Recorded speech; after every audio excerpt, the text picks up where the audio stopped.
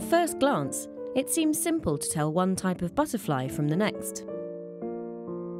Their boldly coloured wings appear to differentiate one species from another. But predators must beware. The wings of butterflies tell lies. Some butterflies have evolved wings that resemble those of more poisonous species, a clever deception. In other cases, two equally poisonous species have evolved together to become mirror images of each other. The Amazonian butterfly Heliconius numata has evolved in this way.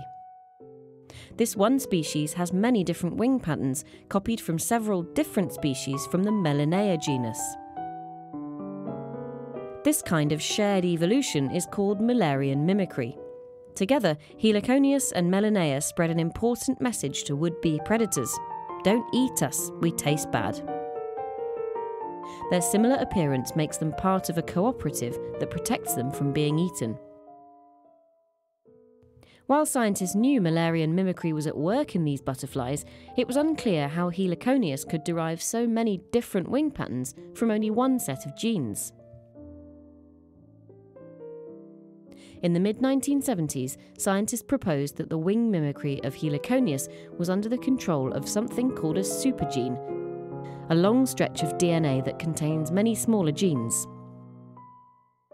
In the supergene, individual genes are immune to the random mixing and matching that normally occurs in sexual recombination. This is how Heliconius manages to keep its various wing patterns separate.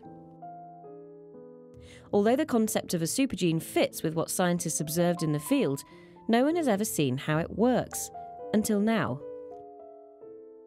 A study of Heliconius DNA led by French scientist Mathieu Joron shows that the supergene breaks and then recombines into several different configurations. Each arrangement creates a specific wing pattern, the mirror image of a Melinaea species. By mimicking its poisonous cousins, Heliconius is safer from the greedy gaze of predators, so natural selection favours these preset patterns, and by extension, the genes that create them.